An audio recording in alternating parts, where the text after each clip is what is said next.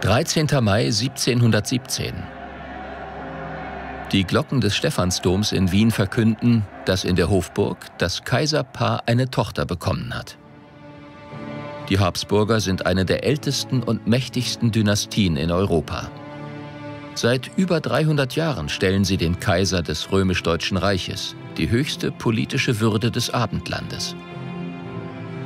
Sie sind Schutzherren der katholischen Kirche und sehen sich als Verteidiger der Christenheit.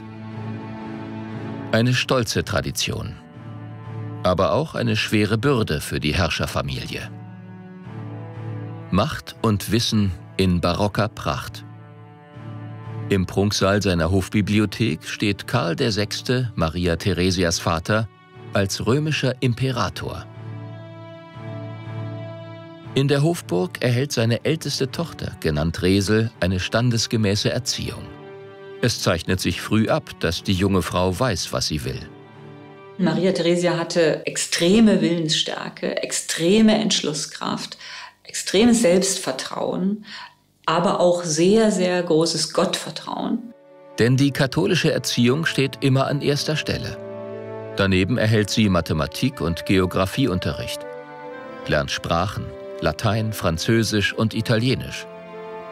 Geschichtslehrer erläutern ihr gute und schlechte Regenten, aber auch die ruhmreiche Geschichte des Hauses Habsburg.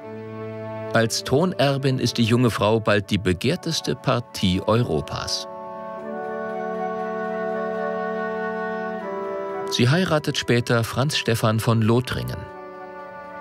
Die Ehe wird arrangiert, aus politischen Gründen.